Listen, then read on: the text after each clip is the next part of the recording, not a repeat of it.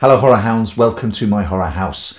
Ghost stories for Christmas are a venerable tradition, and this year I would love to read you my own seasonal chiller. It is from my horror short story collection, 17 Stories of Death and Desire. It is by far and away the shortest story in the collection. Think of it as a little icicle drops down the back of your Christmas jumper to give you a shiver. So make yourself comfortable, gather yourself around the metaphorical fireside and I would love to read for you now The Shades of Midwinter. Granny and I sat by the fire while Ma hovered at the window with her hot chocolate, surveying the darkness outside. This was our first Christmas since Ollie died and Dad left. We'd driven through the night far up into the highlands to reach Granny before the snow arrived, which cut off her village each year. Every room in our house felt empty now, and the journey north felt more like we were running away than travelling to be with family. Granny lanced more marshmallows and passed them to me to hold over the flames, but my mother's strange vigil kept snagging my attention. I don't see anything yet, Ma muttered without turning. I could see her one reflection in the dark glass. She looked worried. I wanted her to be okay, but nothing would ever be okay again. What's she looking for? I whispered. Granny tutted and shook her head. The lenses of her thick glasses were full of flames. That morning we'd woken to a muffling blanket of white which seemed to deaden the air of the small valley. We'd gone outside and joined the rest of the villagers who were making snowmen, one for each of the 23 men, women, and children who lived there. Even Granny. We had to wheel her out, but she insisted on patting out a crooked, cold body and head as best she could with her bent, arthritic hands. Don't forget your token, she said, as she puffed and strained, waving away any offer of help. Ma had explained the tradition on the way up, something she'd done each midwinter as a little girl. You roll something personal into the body of your snowman near the heart. Everyone in the village did it. Now Ma kept watch over our effigies while Granny and I sat in the crackling orange circle of heat.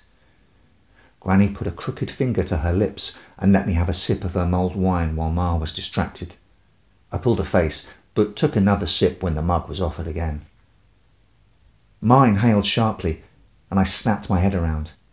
I was up and at her side before Granny could stop me. There were three shadowy figures on the lawn by our snowmen. Who are they? I asked, but no one answered. The fire popped. As I cupped my face to the window, I saw that there were more silhouettes standing outside, other houses too. Each one was standing beside a snowman. Ma, what's going on? I thought I'd imagined it, she murmured, all those years ago. Don't worry, Petal, Granny said. The shades don't bother us if we leave our tokens in our stead. You did leave a token, didn't you? Ma asked. Her expression frightened me.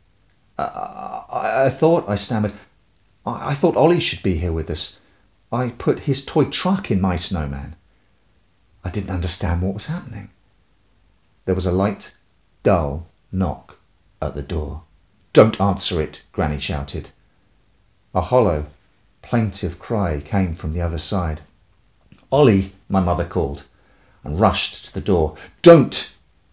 Ma opened the door, but her wide smile froze to something rictus as the cold charged in and filled the room.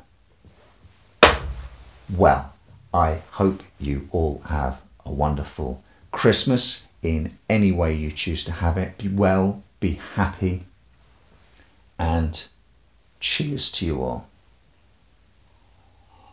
If you like what you heard there, there are 16 other tales of the horrible and horrifying and fantastical in 17 Stories of Death and Desire, which is available in paperback, ebook, and Kindle Unlimited from Amazon.